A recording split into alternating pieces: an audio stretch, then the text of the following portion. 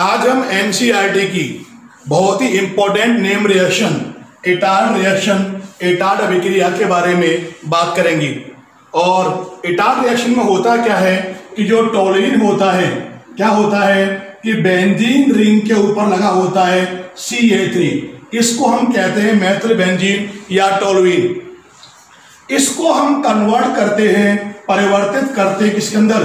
Benzaldehyde में। तो benzene ring पे आप लगा देंगे सी एच ओ यानी कहने का अर्थ यह है कि मैथिल बेंजीन यानी टोलोइन से बेंजेल्डिहाइड को प्राप्त करने के लिए हम इस रिएक्शन को काम में लेते हैं, जिसका नाम है इटार्ड रिएक्शन अब यहाँ देखिए आप इटार्ड रिएक्शन होगी किस प्रकार से।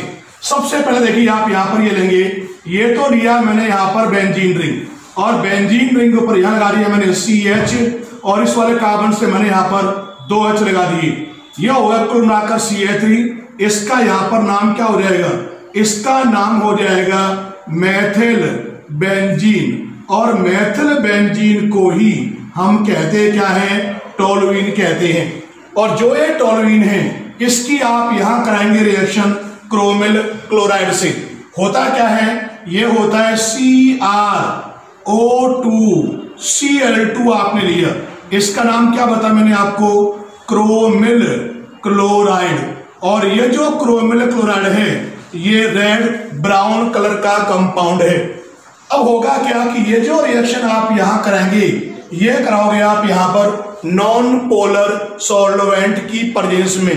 तो नॉन पोलर जो सॉल्वेंट है, उसके रूप में या करोगे आप सी एच टू को कार्बन डाइसल्फाइड को।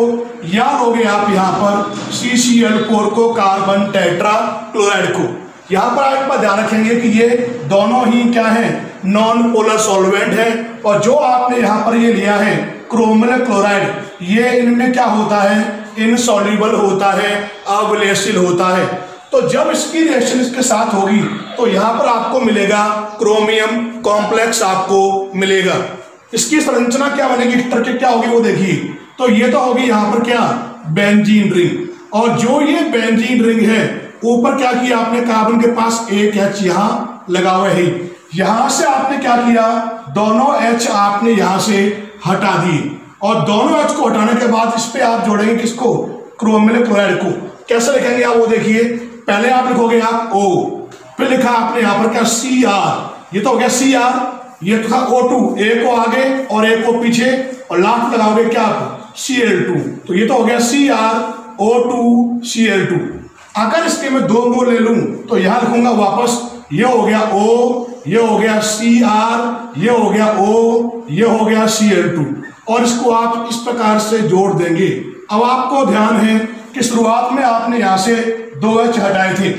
अब आप यहाँ पर दूसरे वाले ओ के पास एक एच लगा देंगे तो ये हो जाएगा ओ एच यहाँ पर भी ओ के पास एक एच लगाएँगे तो ये हो जाएगा ओ एच और जो स्ट्रक्चर आप देख रहे हो, ये क्या है यहाँ पर? ये होता है क्रोमियम कॉम्प्लेक्स है। क्रोमियम संकुल है। और ये होता कैसा है? ये होता है ब्राउन कलर्ड होता है, भूरे रंग का होता है। अब जो आपको यहाँ पर ये क्रोमियम कॉम्प्लेक्स मिला है, इसका आप यहाँ पर करवाएँगे। एसिड के मीडियम में आप यहाँ कराओगे। हाइड्रोलाइसिस लिखा मैंने यहाँ पर। एच और ये हो गया O H H plus O H minus अब देखिए आप यहाँ पर होगा क्या? तो यहाँ पर आप देखेंगे इस बॉन्ड को आप शिफ्ट करेंगे यहाँ पर। तो यहाँ पे क्या होगा? यहाँ पर रहेगा डलवन और इस पे क्या रहेगा यहाँ पर इस पे रहेगा प्लस क्योंकि सी आर क्या एक मेटल है। अब होगा क्या यहाँ पर? यहाँ पर आप देखोगे इसको आप शिफ्ट करेंगे यहाँ पर। तो ओ पे क्या रहेगा? ओ पर रहेगा नेगेटिव नेगेटिव आएगा तो ओ के पास ये तो जाए। प्लस वाला है, प्लस वाले के पास तो जाएगा ओ एच यानी ये पहुंचेगा यहाँ पर। और ये प्लस वाला जाएगा नेगेटिव वाले पास तो ये पहुंचेगा यहाँ पर। देखिए आप यहाँ पे बचा गया। तो यहाँ पर आप देखेंगे, ये तो हो जाएगा क्या? बेंजीन रिंग इस प्रकार से हो गया। कार्बन के पास क्या है? एक एच यहाँ पर लगा हुआ है ही। और यहाँ पे क्या आ गया? डलवन तो जो ये आप देख रहे हैं, ये कंपाउंड तो हो गया benzene ring C H O जिसे हम कहते क्या है? ये होता है बेंजल्डी हाइड होता है। अब देखिए साथ में आपको बाई प्रोडक्ट के रूप में आपको मिलेगा क्या? यहाँ देखिए सी आर है और यहाँ एक ओच है। अब यहाँ पे हुआ क्या कि सी आर के पास एक ओच ये भी आएगा। तो ये लिखा मैंने यहाँ पर सी आर हो गया। एक ओच यहाँ पर है और इसके पास एक ओच और आ गया। तो ये हो गया ओ एच का हो गया होल ट्वाइस आगे क्या लगा हुआ है? सी एल टू यहाँ पर भी आप देखोगे कि यहाँ पर यह ओ के पास एच आएगा तो ये क्या हो जाएगा ओ एच ये सी आर है, एक ओ एच दूसरा हो जाएगा ओ एच और ये भी सी एल टू तो इसके आपको यहाँ पर दो मोल आपको प्राप्त होंगे। और ये जो रिएक्शन लिखी है, इसमें हुआ क्या कि जब टोलुइन की रिएक्शन हम कराते हैं क्रोमिल क्लोराइड से सी एच टू या सी सी एल फोर की प्रजेंस में तो ब्राउन कलर का आपको क्रोमियम कॉम्प्लेक्स प्राप्त होता है। जिसका एसिड के मीडियम में हाइड्रोलाइसिस कराने पर आपको मिलता है बेंजेल्डिहाइड और ये जो रिएक्शन होती है, इस रिएक्शन को हम एटार्ड रिएक्शन एटार्ड अभिक्रिया कहते हैं। अब यहाँ पर हम कर क्या रहे हैं। एग्ज़ाम्पल के तौर पर मैथिल बेंजीन की जगह पर अब हम लेंगे एथिल बेंजीन तो देखिए रिएक्शन किस प्रकार से होगी। ये देखिए मैंने यहाँ लिया बेंजीन रिंग इस बेंजीन रिंग के ऊपर यहाँ लगा दिया सी एच टू ये हो गया सी ए थ्री इसका यहाँ पर नाम क्या है? इसका नाम है एथिल बेंजीन और जो आपने यहाँ पर एथिल बेंजीन लिया है, इसकी बिल्कुल सिंगल रिएक्शन कराओगे। दो मोल हो गया C R O two C L two नाम आपको ध्यान है ही, इसका नाम क्या है?